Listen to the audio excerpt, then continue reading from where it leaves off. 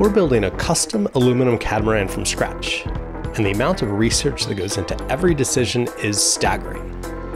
From big decisions like designing our electrical systems, to smaller ones like which toilet can give us the best weight savings. But as an engineer, one of my mottos has always been work smarter, not harder. And lately, I've been dipping my toes into the world of AI and seeing just how we can use it to make this build more efficient. And in today's video, I'm going to be putting it to the test and trying to solve a rather complex problem. How are we going to cool the electric motors for Delos 2.0?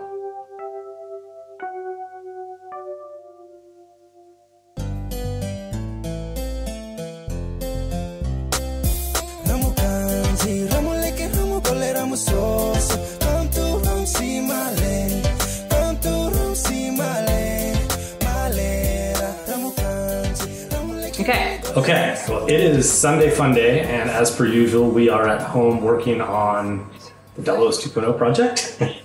There's like a lot of very cool engineering challenges to solve on this project, and one of the things that I've been doing lately is seeing how much AI can actually help me solve problems. I've been using it first for very simple things like calculating the areas of various curved surfaces.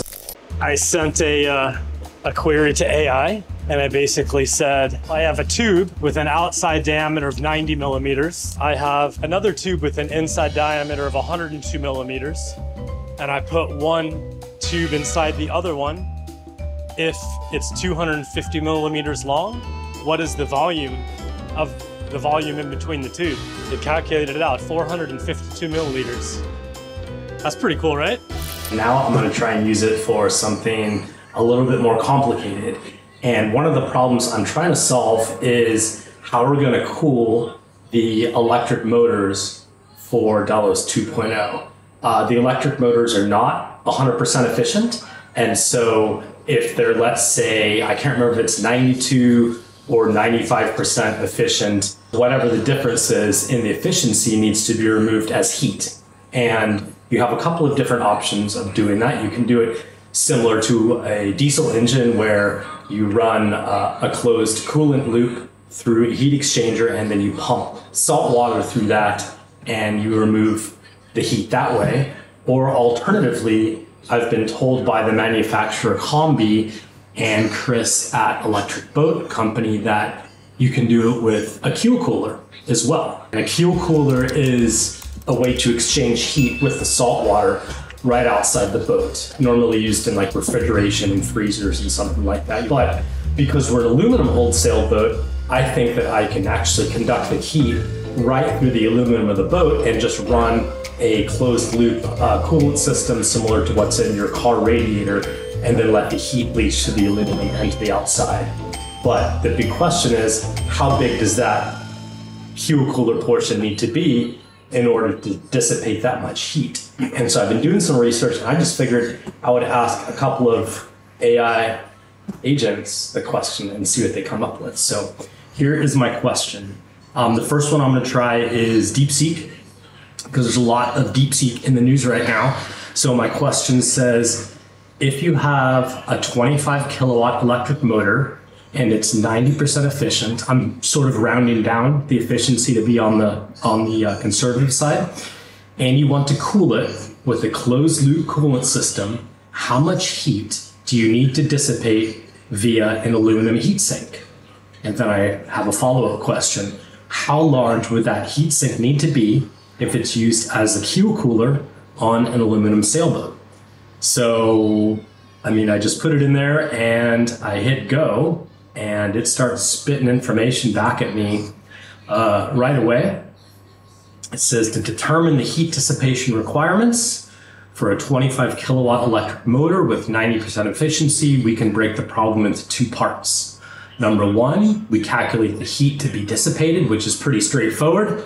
If it's uh, 25 kilowatts and we're running at 90% efficiency, then we need to dissipate 10% uh, of that heat, which is uh, 2.5 kilowatts, 2500 watts. And then it goes on number two, determine the size of the heat sink. The heat sink will be used as a keel cooler on an aluminum sailboat, meaning it will be submerged in water. The size of the heat sink depends on the heat dissipation rate, the temperature difference between the heat sink and the surrounding water, which makes sense, and the heat transfer coefficient of the system, which depends on the design and the amount of water flowing. Now, keep in mind that if the engine is or the motor is turning, the boat is moving through the water, and so we're always going to get constant temperature ocean water coming over the warmer surface. Uh, it gives me a formula for heat transfer, and it also makes some assumptions. So it says uh, the heat to be dissipated, the overall heat transfer coefficient. Uh, we have the surface area of the heat sink, which is the answer that I'm after. And then it also includes another variable, delta T, the temperature difference between the heat sink and the outside water. So obviously, if we're sailing in Svalbard where the water is one degree versus you know somewhere in the Caribbean where the water is like 30 something degrees, then uh, we need a much larger heat sink and warmer waters, right?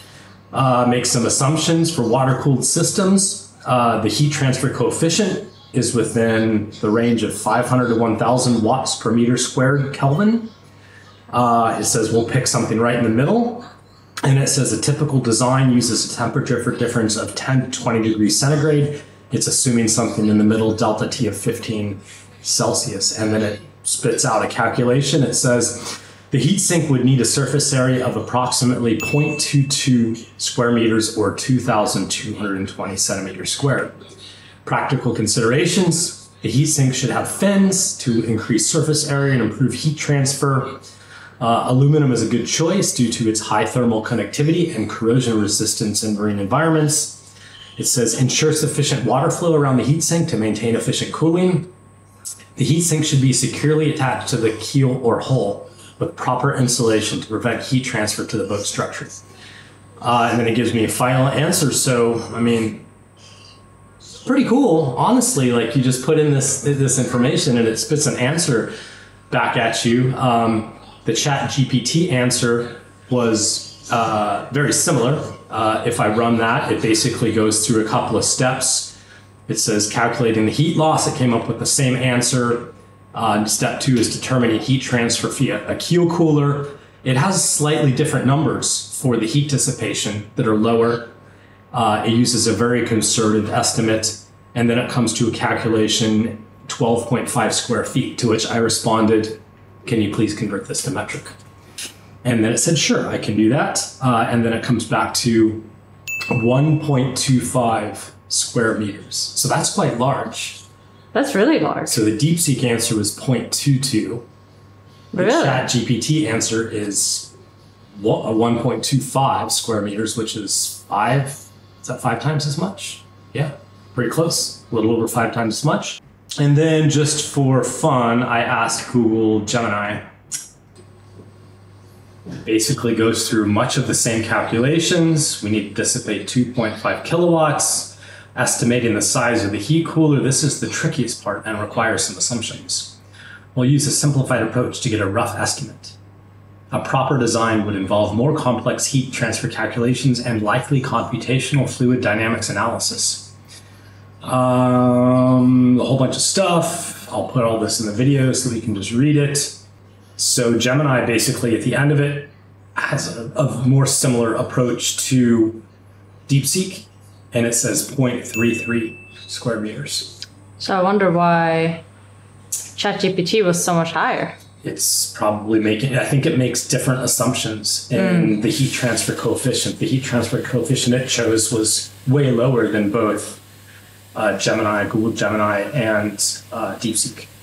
I hope that DeepSeek is right.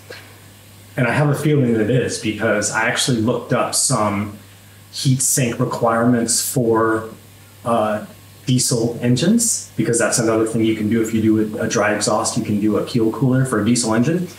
and it was in the neighborhood for a small diesel engine, which would be kind of equivalent to a 25, like the heat, the heat inefficiency from an electric motor is very small compared to a diesel engine, but it was in, in the neighborhood of like three and a half to four square feet, uh, which would be a third of a, I think, a, a cubic, a, a square meter is approximately just over nine square feet, so it's about a third of a square meter. So do you feel was it useful? Yes, I think it was useful because it broke the problem down it went out and it found a bunch of information. It spit me back some answers that were roughly with what I was expecting, kind of. Um, the question is, it's making assumptions, and so then you have to go back and check the assumptions about what is an acceptable like uh, thermal coefficient for the heat coming out of the aluminum into the seawater. What is an acceptable temper- temperature difference between the keel cooler and the seawater? And so it's it's like a head start, but I don't think you can 100% trust this. No, you wouldn't just take those numbers and be I like, wouldn't sweet. just do that. No. but it's fun to play with. And I also was wondering if anybody has, if there's any marine engineers or mechanical engineers that have experience in keel coolers. What do you think? Like, if I want to dissipate, let's say, maximum worst case scenario, 2,500 watts through the skin of my aluminum sailboat directly into the ocean, and let's assume that the highest water temperature we'll ever encounter would be 35 degrees Celsius, and want to maintain, let's say, a 10 to 15 temperature variant between the keel cooler and the ocean. How big should it be? That's it. Please comment below. Thank you.